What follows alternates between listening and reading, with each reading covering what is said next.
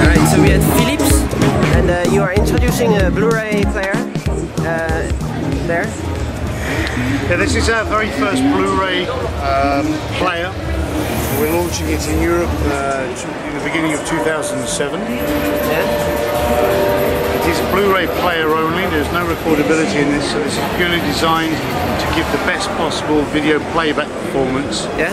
particularly when connected via HDMI to a HD-ready TV set like this one. Alright, so uh, is there any feature in that Blu-ray player that will be special for Philips compared to some of the other Blu-ray players? Uh, not right now. Maybe Yeah. it's it's it's being able to offer the Blu-ray playback functionality. Yeah. But obviously, we as a company have got a reputation for being um, focusing a lot of our attention on picture quality. So Yeah. we're making sure that this set can deliver the absolute best possible quality that can be done. Yeah, because I've seen uh, uh, Philips do uh, DivX certified products uh, for normal standard resolution.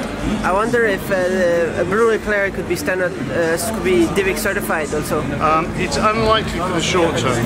Yeah. Um, this is going to be based on uh, of D, on uh, Blu-ray playback, and of course Blu-ray has a lot of copyright protection Right. uh, applied to it. So this is purely designed so you can have uh, the best possible playback of Blu-ray discs. All right. So let's go uh, look at the Ambilight. All right. So there's this uh, Ambilight full surround. Yeah, this is a consumer experience that we've created to show what Ambilight Full Surround is all about. Um, Ambilight being a technology uh, that we apply in our flat TVs um, to uh, enable uh, the, the, uh, the consumers, viewers at home to get a slightly more immersive experience. So what we've done is we've created a, a show here, um, really just to project what Ambilight's all around in, in quite an in- interesting way. But what's more interesting inside this dome we have a whole array of Ambilight TVs arranged around the wall. Right. It's a very impressive uh, sight. Do you know how many uh, TVs are in there? Uh, I don't know off the top of my head, no. All right. So let's go and look uh, closely, more closely at the Ambilight. So Ambilight is, has, has been. Uh, when, when was it first uh, introduced? Uh, we we introduced our first version of Ambilight in uh, 2003, Yeah. uh, 2004 sort of time frame. Um, we're already on to uh, a fourth version of it uh, called Ambilight Full Surround. And we've come down here, I can show you All right. I'm here. three different versions we have Yeah. today um, and what they do and why. All right. So the fourth generation means that the Ambilight actually has evolved. Yeah, well, basically, the, the very first version of Ambilight was um, based on having two lights, or Yeah. two lighting arrays on either side of the TV set, and basically they would work by uh, the dominant color on the TV. The second generation of Ambilight Yeah. that we developed was uh, what we call stereo Ambilight, and you'd have a different color either side. And you can see on this, this particular set here, Yeah. where you have what we call three-sided Ambilight. Um, and then we have Ambilight on the top, on the left, and on the right. And Yeah. the very first version, depending on what image was on the screen, you just get the same color or the same light color Yeah. uh, either side. When we went to stereo Ambilight, you could have a scene, say, uh, like here, where you have lots of blue at the top and say some green at the bottom. You'd see green on the left, blue on the right. When we go to this generation here, which is Ambilight Full Surround, Full surround. we have an Ambilight uh, lighting array on the top, the bottom, the left, and the right. Yeah. Um, we can start to spread the imagery out a, a little bit more. Yeah. So now on our, our latest flat TVs, we offer uh, three different types of Ambilight: full surround, surround, and two-sided Ambilight. Is is more expensive to have the full surround? Well, it depends on our, our higher-end TV certainly. So that's they they generally are more expensive, but. Uh, the, the cost isn't necessarily the issue on, on the different versions Yeah. as you go up. It's just how we apply that on our top of the range Yeah. set, and you can go down. So actually, the Ambilight technology um, uh, takes the, the color of the actual screen and puts it over on the side somehow. Basically, yeah. If I could show you on uh, Yeah. on a set over here, it's very easy way of doing it.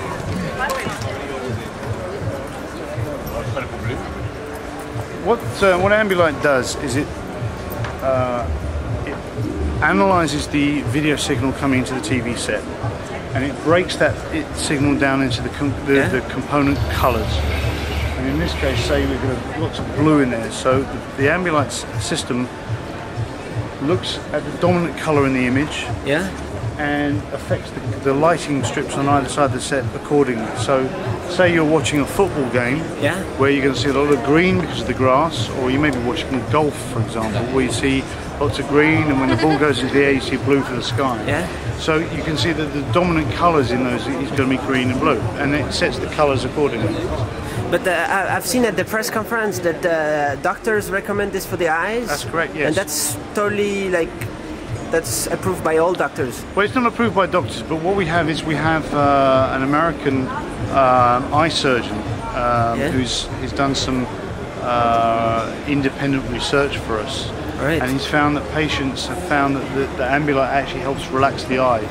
Yeah. And the reason for that is if you if you have a standard TV and you're Yeah. staring at that screen, you're staring at a lot of light. It's very intensive. But because the Ambilight effect stretches the picture and it gives this extra glow around the set, um, it, it actually adds to the peripheral Yeah. vision. So it actually helps you instead of being focusing Yeah. hard on one small area. Yeah. Gives a wider area for the eyes to focus on, and it's actually much more relaxing for the eyes in that respect. So the, the hertz uh, refresh rate of the screen is that the same as the Ambilight? Uh, Does that follow each other? Uh, I don't think so, but I'm not. I'm not Yeah. sure. I'm not uh, that much of a technical expert Yeah. to, to, to, to know for sure. and do, do you know if there's been uh, some uh, some research on the customers who have this, if they really enjoy it? yeah, we do. We we have research that's found that uh, um, once they have it, they never want to switch it off. You can switch it off if you You can switch it off. In fact, there's even a feature on, on one or two of our sets where you can actually have Ambilight on even when the TV's off. So you can Right. use it for ambient lighting in your living room. But what we have found is that when once consumers have this at home, they never want to switch it off because they, they just love it so much. And Right. after a while, you, you become uh, you don't you don't become conscious that there's something changing because you've Yeah. become immersed in it. And that's why we call Ambilight. It's an immersive experience right. because it's not. It, it means you're not just watching television in a, in a Yeah. two-dimensional sense. You're actually watching television and something a bit more. After a while, you don't really think about it. No, you don't. You just Yeah. you, enjoy it that much that Yeah. you don't really notice consciously. Oh, it's gone to this color now. It's gone to that color. And it's only when you start thinking about it, you're realizing it's changing color. Right. But you need a, a white wall behind. No, um, on, um, on on this set you do, of course. But say on this set we have on the end there, it's actually the screen is built onto a, a white board. A whiteboard. So you can Yeah. see that the effect is, is there. So you, you, absolutely don't have to have it. You don't have to. Uh, and uh, actually, that's kind of like the start of the kind of a new concept strategy for Philips. Uh, there's the AMB, uh, what's it called AMB, MBX. MBX, and that's launched here at IFA. That's correct. Yeah. Um, Should we go over there? Yeah, let's go. So uh, we've just seen the Ambilight, and this is like the kind of in the same uh, strategy Well, from it- Philips. Yes, it's it's basic. Uh, it's a. I suppose you could call it a close cousin of Ambilight, insofar as what we've done with amBX is create um, a new set of experiences for, in this particular application, with the gaming market. Now, to use the example of Ambilight first of all, Ambilight takes television and expands it. Yeah. creates a new experience for watching television. What amBX does is does the same thing for, in this case for gaming. Um, what we have here in this, uh, this, this workstation are um, speakers with uh, lighting modules attached to them. These are fans. Fans. You can't see this on camera. So- you actually feel there's a, a breeze. There's a fan breeze Yep. coming out.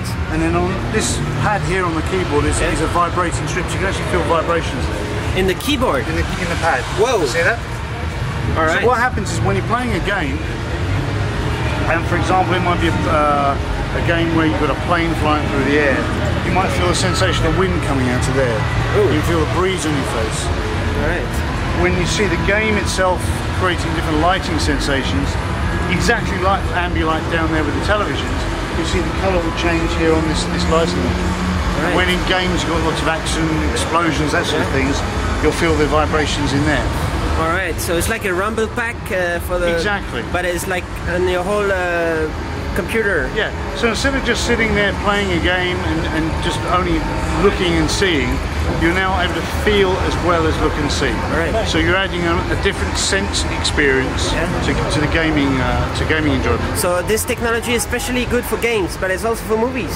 It could be applied, yeah. I mean, if you think of any kind of application where you could give yourself as a viewer a bigger experience Yeah. than simply just looking, uh, then amBX is good as it is. Yeah. From a commercial point of view, we're at the moment launching this as a as part of our PC peripherals, gaming peripherals uh, range, and all these uh, devices here will be available um, in spring of next year in Europe.